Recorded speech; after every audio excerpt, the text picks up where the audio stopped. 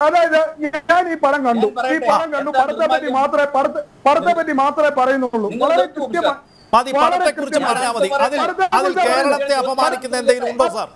എന്താണ് കേരളത്തെ അപമാനിക്കുന്ന എന്തെങ്കിലും ഉണ്ടോ?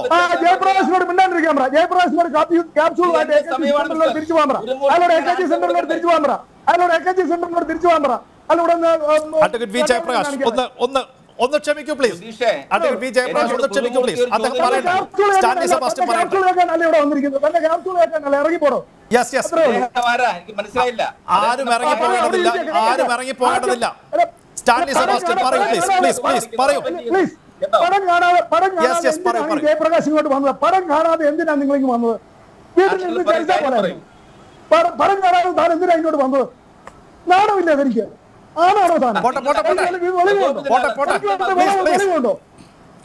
പ്രായമായില്ലോ. പടം കണ്ടിട്ട് പാടോ നാളെ പടം കണ്ടിട്ട്.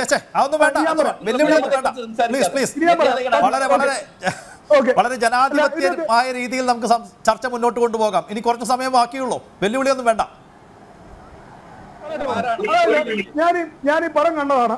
ഇതിന്റെ അകത്ത് ശരിക്കും ആ ഗീതാഞ്ജലി എന്ന് പറയുന്ന കുട്ടി അയാളുടെ അപ്പൻ സഖാവിന്റെ മടിയിൽ കിടന്ന് പറയുന്ന ആ രംഗം ഞാൻ അന്നേരം ഓർത്ത് പോയത് ക്ലിപ്പ് ഹൗസ് ആണ്. ക്ലിപ്പ് ഹൗസ് ആണ്. ക്ലിപ്പ് ഹൗസിലാണ് അത് നടന്നതെന്നാണ് ഞാൻ വിശ്വസിക്കുന്നത്. ശരിക്കും. കണ്ടോ, ഇതാണ് പ്രശ്നം. ശരിക്കും. ഇത് പറയാതെ വന്നിരിക്കുന്നത് ക്ലിപ്പ് ഹൗസിലാണ് ക്ലിപ്പ് ഹൗസിലാണ് നടന്നതെന്നാണ് ഞാൻ വിശ്വസിക്കുന്നത്. അല്ല പറയട്ടെ പറഞ്ഞു അവിടെ നിൽക്കുക അവിടെ നിൽക്കുക അല്ല ക്ലിപ്പ് ഹൗസിലാണെന്നുള്ളതാണ് അതായത് അഡ്വക്കേറ്റ് വി ജയപ്രകാശ് അദ്ദേഹം അദ്ദേഹത്തിന്റെ അഭിപ്രായം പറഞ്ഞോട്ടെ? താങ്കൾ ഇങ്ങനെ ചർച്ച കുളമാക്കല്ലേ? മിണ്ടാതിരിക്കൂ പ്ലീസ് see, ഇത് ശരിക്കും ഇസ്ലാമിനേരെ ഒരു ഒരു ഫിലിം ഒന്നുമല്ല പക്ഷേ ഈ ജിഹാദികൾക്ക് വേണ്ടി കേരളത്തിൽ മാമാപണി ചെയ്യുന്ന കമ്മ്യൂണിസ്റ്റിനെ എക്സ്പോസ് ചെയ്യുന്ന സിനിമയാണിത്. അതിന് ഒരു തർക്കമില്ല അത് കൃത്യമായിട്ട് ബാക്കി ലോകത്ത് എന്തായാലും പത്ത് നൂറ്റി അമ്പത് രാജ്യങ്ങളുണ്ട്. അവിടെ സംസ്ഥാനമുണ്ട് ജില്ലയുണ്ട്. കേരളത്തിൽ മാത്രം ഇത് വരാൻ കാരണം കൃത്യമായിട്ട് കേരളത്തിലെ എൽ ഡി എഫും സി പി എമ്മും കമ്മ്യൂണിസ്റ്റും ജിഹാദിയെ പ്രൊമോട്ട് ചെയ്തുകൊണ്ട് മാത്രമാണ്.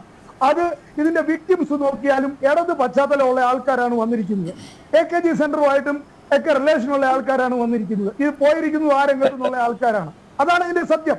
ഇവർ ഈ ഇടത് ഇടതന്മാർ ഇതിന്റെ അകത്ത് ഇമോഷണൽ ആവുന്നതിന്റെ കാരണം ഇത് തന്നെയാണ്.